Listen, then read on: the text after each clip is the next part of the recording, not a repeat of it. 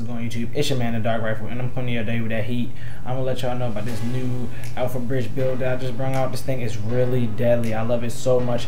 You can achieve 52.5 52.5 critical hit chance. This thing is a monster build, man. Okay, so basically I'm gonna let this video run through, but to hit the 52.5 critical hit chance, you must have Adept on your weapon. I have Adept on almost every weapon I use. So for this AR, this thing is so beast, man.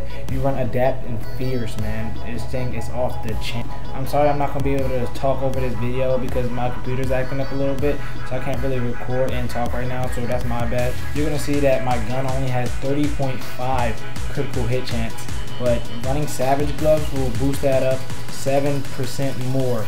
And then running Adept if you do both of your skills, because most people when they hit their pulse, their heal's gonna come afterwards because their health is getting drained.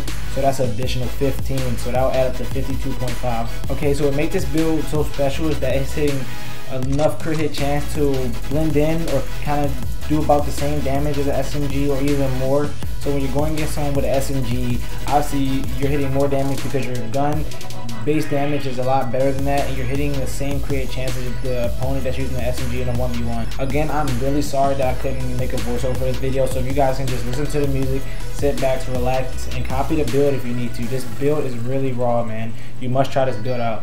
But anyways, enjoy the build. You know how we do it, man. Let's get it. Let's rock.